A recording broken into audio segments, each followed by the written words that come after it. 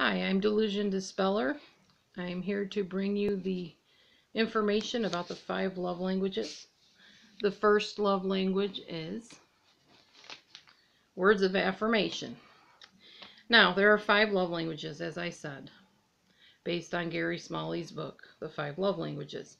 Words of affirmation, quality time, receiving gifts, acts of service, and physical touch are the names of the love language, and I will see if I can post those somehow. Um, it's going to be tricky because I'm doing this on a tablet, so I don't think I can type in those words on there.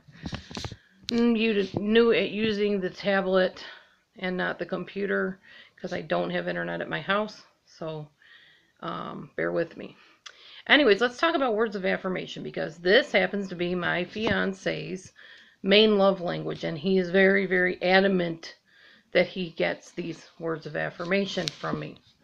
And not the opposite, which would be words of condemnation, words of criticism, that kind of thing. That doesn't wash real well with him.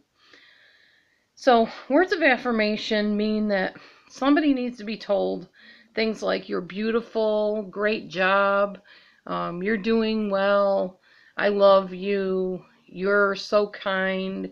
You're so awesome. You're wonderful. I'm so glad I married you. I'm so glad we're together. Um, you mean so much to me. Those kind of things. That's a word, words of affirmation. What a love language is, is it's basically the language that you understand and feel loved in. And not everybody's are the same. And you can have a mixture of love languages. My love language happens to be physical touch, um, gifts, quality time, but my main one is probably the physical touch. So kissing, hugging, intimacy is very important to me.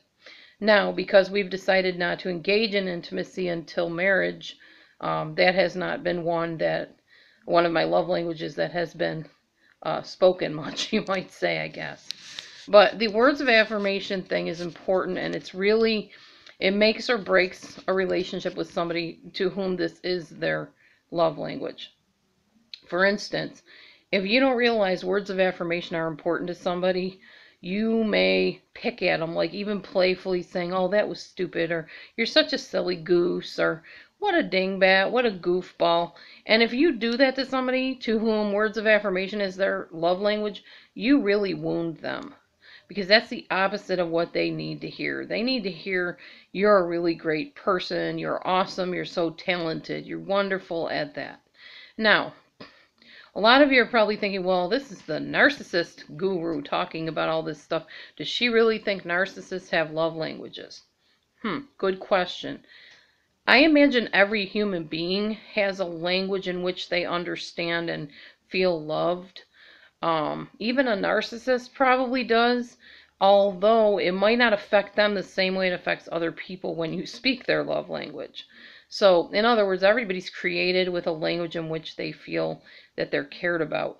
But that doesn't mean that a narcissist would be able to respond if you give them that um, feeding of their love language. Because, for instance, if a guy was born as a child, a little boy, with words of affirmation being his love language, and all he was was condemned or told how wonderful he was, but in a false way, then when you tell him how wonderful he is as an adult, he may think, oh, you're just saying that because you want something from me. So it kind of gets twisted, especially when a person is traumatized in childhood.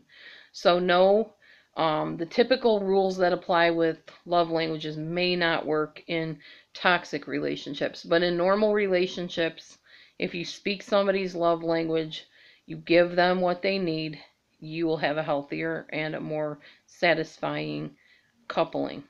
So, hope that helped some. If you have any questions, post them down below the video. Thanks for watching. Stay tuned for the next love language. God bless you. Bye.